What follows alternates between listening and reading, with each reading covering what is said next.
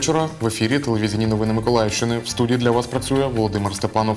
Протягом прямого ефіру на екранах ви бачитимете нашу електронну адресу, за якою зможете звертатись до редакції, а також посилання на наш Ютуб канал та сторінку у мережі Facebook.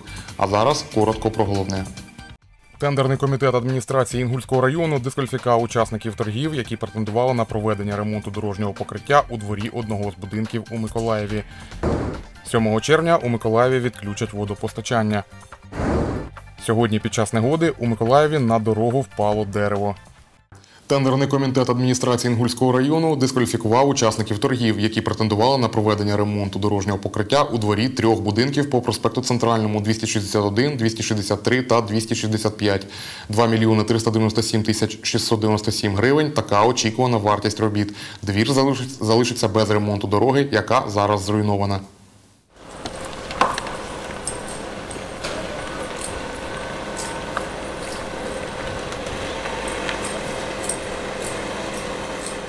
Віктор Безверхній живе у будинку за адресою проспект Центральний, 265. Чоловік щодня користується власним транспортом. Говорить, дорогою уздовж трьох будинків, які складають двір, користуватися важко. З кожним днем у нас все більше і більше ям з'являється в нашому дворі. Тому що ще в 2017 році нам місцева наша влада пообіцяла зробити дорогу. Клялися, божилися, що все буде добре, у вас буде гарний асфальт, і водії будуть безпечно і спокійно користуватися цією дорогою. Але нема нічого, нема, нема ні дороги, ні обіцянок, нічого, нічого. Пішов дощ, яма зробилася, я вже скільки разів машину ремонтував, тому що постійно влітаємо, влітаємо, влітаємо. І... Поки що ніякого толку, поки що тільки одні слова і обіцянки. Про якість дорожнього покриття в цьому дворі говорить і Володимир Харитонов. Як і його сусід Віктор Безверхній, він щодня їздить тут автівкою. Дороги сказать нельзя, что это дороги. Одни Дороги сказати не можна, що це дороги. Цілковиті ями. Хочеться взяти палки та пройтись. Незрозуміло тільки кому по головах, тому що вертоліт вже треба покупати. А так їздити неможливо цим двором. Йдеться про дорожнє покриття внутрішньоквартальних проїздів біля трьох дев'ятиповерхівок по проспекту Центральному. Ірина Плошняк, голова ОСББ будинку номер 265, розповідає, в 2017 році подавали заявку до департаменту житлово-комунального господарства щодо ремонту доріг. Отримали відповідь від тодішнього директора департаменту Андрія Палька, що фінансування та контроль за подібними роботами покладено на адміністрації районів міста. В даному випадку на адміністрацію Інгульського району. Ірина Плошнік додає, дорога не єдина проблема. Капітальний ремонт ні разу не ділався, починає з 91-го Капітальний ремонт жодного разу не проводили, починаючи з 1991 року. Всі бордюрчики вже занепали, тому обов'язково треба і підняти їх. І головне, що у нас відбувається, у нас немає зливостоків. Коли йде дощ, вся вода збирається у нас у дворі. У нас немає виходу її з двору. Уклонів немає, тому що будинки просіли, а відтак просів і асфальт, і дощова вода залишається у дворі. Тендер на проведення робіт, як свідчить інформація на сайті Прозоро, адміністрація Інгульського району оголосила 11 квітня 2019 року. Торги відбулись 13 травня, розгляд 17 травня. Документи подали три миколаївські підприємства і одне полтавське. Усі чотири тендерні пропозиції були відхилені, і на підставі пункту 6 статті 31 закону про публічні закупівлі торги було відмінено у зв'язку з відхиленням усіх тендерних пропозицій. Пропозиція Полтава Будцентр була е, відхилена у зв'язку з е, неподанням е, фірмою гарантійного листа про письмову згоду на включення істотних умов до договору про закупівлю, що не відповідало умовам тендерної документації. Будівельна фірма Миколаїв Автодор В складі пропозиції надала підписаний проект договору, складений не на фірмовому бланку та який не містив дати та номеру, що не відповідає умовам тендерної документації. Автомобільні дороги України у складі тендерної пропозиції не надали гарантійного листа про те, що під час участі в аукціоні зобов'язують дотримуватись принципів добросовісної конкуренції та не будуть штучно та неправдиво знижувати або демпінгувати свої ціни. Е, За цієї ж підстави були відхилені і ЕЛО автодоріг. Юрист Ігор Оборотов говорить, що тендерний комітет мав право скасувати закупівлю та дискваліфікувати учасників. Втім, причини формальні. переважно причини для дискваліфікації були е, формальними. Тобто е, це відсутність гарантійного листа щодо погодження з умовами договору. Такий лист дійсно вимагався, але е, проблема в тому, що тендерний комітет таким чином прописує тендерну документацію, що ці документи, які мають бути подані учасникам, вони приховані зовсім в інших місцях, не там, де їх е, зазвичай шукає учасник е, закупівлі. Щодо, щодо одного з учасників, тут взагалі цікава ситуація. Це маю на увазі приватне підприємство, будівельна фірма Миколаїв автодоріг, об, Миколаїв облавтодор. Е, проєкт договору не був викладений на фірмовому бланку та не містить номера та дати. Така вимога взагалі не висувалася до учасників закупівель, і, як на мою думку, це така натяжка, е, яку тендерний комітет не від, з невідомих мені причин, я не вдаюся в політичні питання, а суто з юридичної точки зору, він був неправий. Наступне засідання тендерного комітету адміністрації Інгульського району має відбутись 7 червня. Говорить секретарка комітету Алла Радюк. Якщо згодом визначиться з переможцем, то роботи по відновленню 3110 квадратних метрів дорожнього полотна розпочнуться у жовтні-листопаді 2019 року. Марія Савицька, Катерина Балєєва, Ігор Чорний, Юлія Кускова. Телевізійні новини Миколаївщини. 7 червня з опівночі до 18 години у Миколаєві не буде води. Відключення водопостачання вимушене. Причина – низька товщина металу труби на колекторі галицинівських очисних споруд, які приймають стоки з усього Миколаєва. Роботи проводитимуться силами та за рахунок підприємства «Миколаївводоканал». Вартість поки неможливо підрахувати. Про це сьогодні сказав генеральний директор міського комунального підприємства «Миколаївводоканал» Борис Дуденко під час брифінгу з миколаївським міським головою Олександром Сінкевичем. На протязі останнього року у нас було три витоки, які ми оперативно могли ліквідувати. Але останній виток е, дав змогу нам зробити е, тестування е, товщиноміром е, цього колектору, і виявилося, що товщина металу труби е, приблизно 2-3 мм. Для напірного колектору діаметром 1400 мм це дуже е, низька товщина, дуже мала товщина. Е, Тому прийнято рішення замінити е, близько 30 метрів колектору, е, але відповідно треба відключити воду в місті для того, щоб цей колектор був сухий і ми могли працювати. Наразі на сьогодні підготовлені всі матеріали. Сьогодні йдуть підготовчі роботи, закуплені всі необхідні ТМЦ, повністю видані накази по підприємству, а також сформований, підписаний та узгоджений план виконання робіт. У Миколаєві сьогодні розпочали підготовку по реконструкції Соборної площі. Біля Інгульського узвозу встановлюють будівельні вагончики і звозять техніку. Згідно проекту, на площі буде розміщено два пішохідних фонтани: один квадратний і другий фонтан Арка. З міського бюджету на реконструкції площі виділено 88 мільйонів гривень. Тетяна Абрамова, жителька Миколаєва, про реконструкцію Соборної площі знає, але як вона виглядатиме після проведення робіт, не уявляє. Було б здорово, якщо прямо здесь Було б добре, якби тут зробили колесо огляду, якого в місті не вистачає. Колись було у парку перемоги, але дійсно було б класно. Ну і фонтани дітям теж буде весело.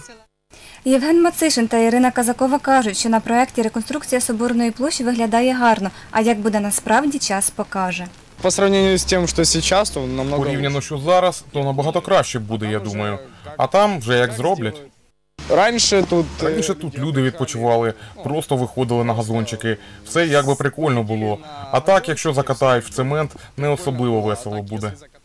На карті на зображенні красиво, а як воно буде насправді не зрозуміло. Але якщо таку площу, де йде гуляння, я думаю, нехай вона буде краще зелена з лавками, нехай люди відпочивають.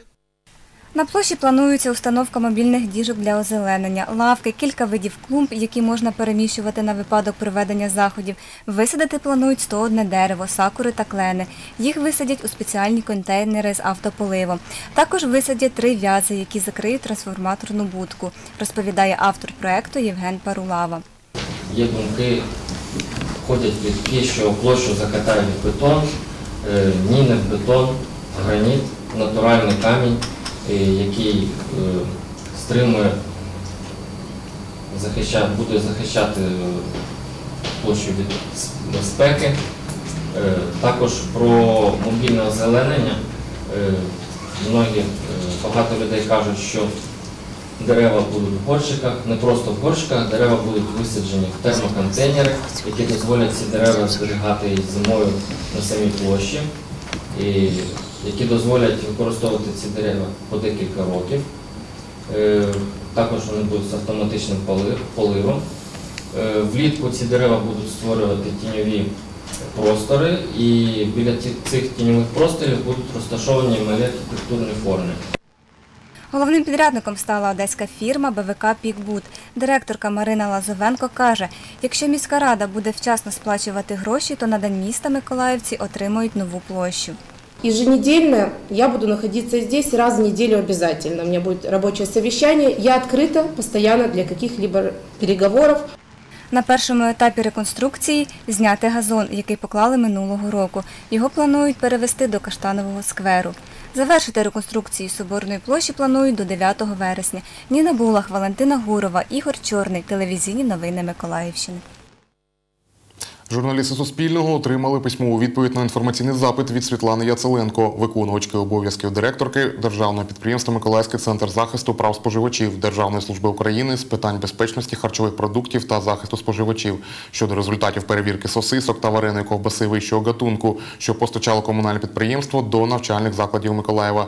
Від відеоінтерв'ю Світлана Яцеленко відмовилась, пояснила це тим, що законом України про доступ до публічної інформації не передбачено відеоінтерв'ю. За даними сайту Прозоро, у тендері, що проводило комунальне виробниче підприємство по організації харчування, перемогло Дніпровське товариство з обмеженою відповідальністю Алан. У відповіді йдеться, що сосиски та варена ковбаса вищого гатунку поступили на перевірку до державного підприємства Миколаївський центр захисту прав споживачів Державної служби України з питань безпечності харчових продуктів та захисту споживачів 13 травня 2019 року від комунального виробничого підприємства харчування у навчальних закладах Миколаївської області. Причина перевірки скарги на невідповідність продукції від загальноосвітньої школи номер 65 міста Миколаєва. Зразки продукції для перевірки відібрані у загальноосвітньої школи номер 65 комунальним виробничим підприємством по організації харчування у навчальних закладах в присутності заступника директора школи, заступника директора зі збуту, техніка-технолога, економіста, шеф-кухаря та представника постачальника. Показники для досліджень визначило комунальне виробниче підприємство. Це масова частка вологи, кухонної солі, нітриту натрію, жиру, білка, крохмалю та маркування. Невідповідність виявлена по маркуванню кожного окремого зразка. Нагадаємо, 24 травня група миколаївців із 30 людей, вимагаючи звільнення Гліба Новоторова, директора комунального виробничого підприємства з організації харчування, влаштували акцію у приймальні Миколаївського міського голови Олександра Сінкевича. Учасники акції взяли із собою коробки з ковбасними виробами, адже вважають, що комунальне підприємство, яке очолює Гліб Новоторов, постачає до навчальних закладів середньої ланки неякісні продукти. Раніше, 20 лютого, на території комунального підприємства з організації харчування правоохоронці провели обшуки за фактом підміни в закладах освіти Миколаєва продуктів дешевшими аналогами, зокрема щодо використання маргарину замість вершкового масла. 22 лютого спеціально створена комісія провела інспекції в школах та дитячих садках, перевіряла дотримання вимог з організації харчування дітей, якість всіх продуктів, дотримання технології приготування та санітарний стан харчоблоків.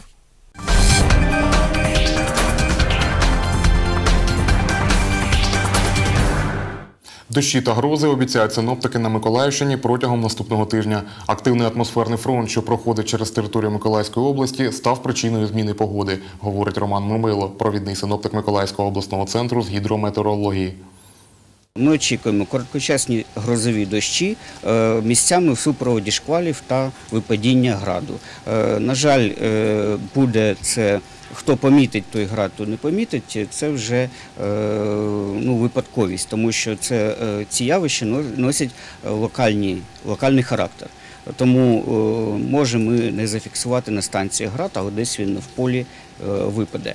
Е, Таке, така синоптична ситуація буде десь до, 6, до 8 вибачте, е, червня.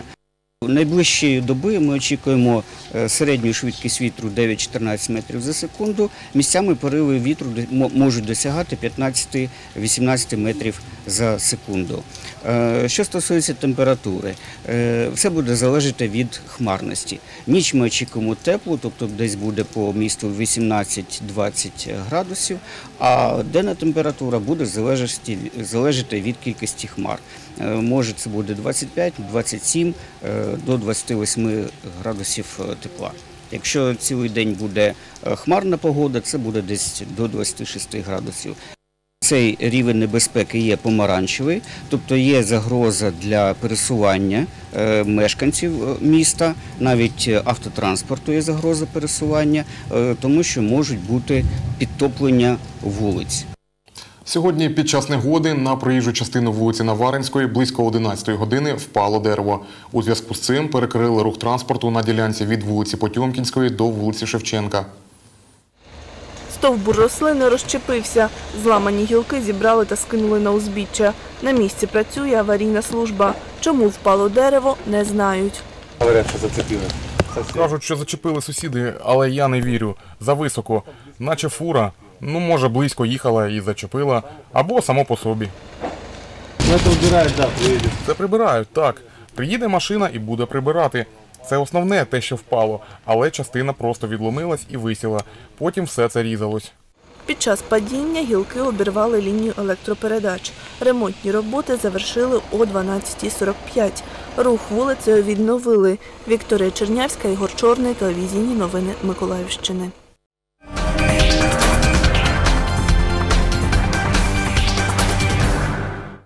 Вихованку южноукраїнського тенісу Лесю Цуренко оштрафували. Під санкції потрапив матч першого кола на турнірі серії Grand Slam Ролан Гарос.